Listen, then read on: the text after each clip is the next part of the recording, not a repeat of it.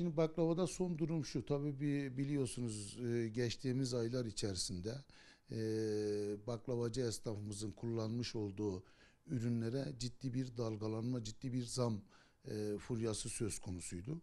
Tabii şimdi bu Ocak ayına girdiğimizde fiyatların oturmasını bekliyoruz. Yani düşeceği kanaatindayız. E, dolayısıyla biz de baklavacı esnafımızın zam talepleri söz konusuydu. E, zam taleplerini biraz erteledik yani bu ayın içerisinde fiyat çalışmasının oturulmasını, e, girdi fiyatlarının oturmasını bekleyerekten ondan sonra ay sonunda bir maliyet hesabı yapacağız.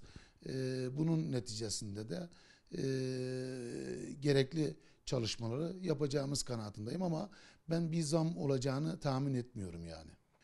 Şimdi geçtiğimiz ay içerisinde e, tabii bizde baklavacı esnafımız bir de ticaret odasına bağlı esnafımız söz konusu yani. E, bu ticaret odasına bağlı esnafımızdan bir zam e, şeyleri duyduk biz yani ürünlere bir zam yapıldığını duyduk. Ama onların da e, bizim e, arkasından zam yapmadığı zaman bizim üyelerimizin onların da geri çektikleri e, haberleri geldi bize. Dolayısıyla şu anda Antep'te e, baklavaya ve diğer ürünlere bir zam yok yani. Şimdi bunu e, tabii ki biz duyum olaraktan resmi elimizde bir şey olmadığı için çok e, rakam olaraktan e, zikretmek istemiyorum ama e, 200 civarında duyduk biz. Onu da geri tekrar 170 e, 175 seviyesine çektiler. Tabii baklavada çeşitler de fazlalaştı. Şimdi bazen kare dilimi dediğimiz normal dilimden farklı olan bir baklava ürünü var. Veya şöbiyet veya işte e, mitye dediğimiz baklava ürünlerimiz var.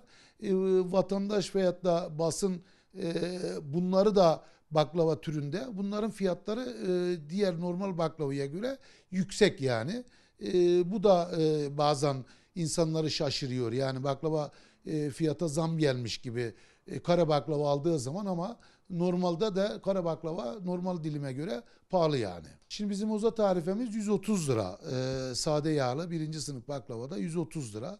E, tabii bu kare dilimde veyahut da e, şöbiyet ve şeylerde 170 lira e, tarifemiz. E, bu şekilde esnafımız aynı e, ölçüde e, baklava satışlarına devam ediyor. Biz e, oda olaraktan da esnafımız olaraktan da e, çok yüksek fiyata satılmasına da karşıyız baklava ve diğer ürünlerimizin. Çok düşük fiyata satanların da göz önünde bulundurulmasını istiyoruz. Çünkü bunlar da haksız rekabete veyahut da insan sağlığıyla oynuyorlar. Şimdi mesela atıyorum 25-30 liraya baklava satıldığını duyuyoruz. Biz bunlara da gerekli e, müdahaleleri yapıyoruz yani. Hatta bir tanesini hukuki süreç başlattık yani.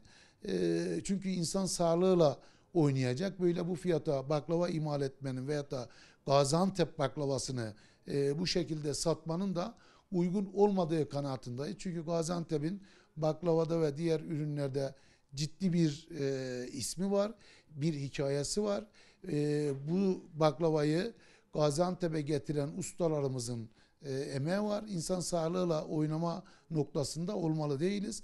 Biz düşük veren kişilere de merdiven altı dediğimiz ruhsatsız ve e, bu işleri e, derme çatma yerlerde insan sağlığına e, uygun olmayan koşullarda üreten baklavacılara da savaş açmış durumdayız. Yani bunları da Gaziantep'te barındırmayacağız. E, tabii şimdi tüm e, tüketici ürünlerine baktığımız zaman e, Aralık ayı ve işte e, 11. ayda gelen e, ciddi bir zam furyasının e, şu anda durduğunu ama bunların e, geri çekilmesi gerektiği kanaatindayız biz. Hızla bunların geri çekilmesini istiyoruz.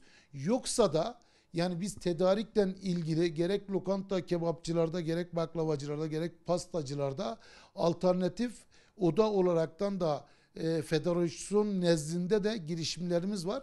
Tedarik noktasında biz de piyasaya gireceğiz yani. Çünkü ürünlere insanlar zam yapma noktasında ellerini çabuk tutuyorlar ama zam düştüğü noktada tekrar onu aynı şekilde e, zamlı ürünleri geri çekmiyorlar. Tüketim yapılan, e, tedarik yapan firmaları oda olaraktan uyarıyoruz. E, marketleri uyarıyoruz. Eski seviyelerine yakın fiyatlarımızı çekelim. Çünkü girdi fiyatları düştü, dolar düştü.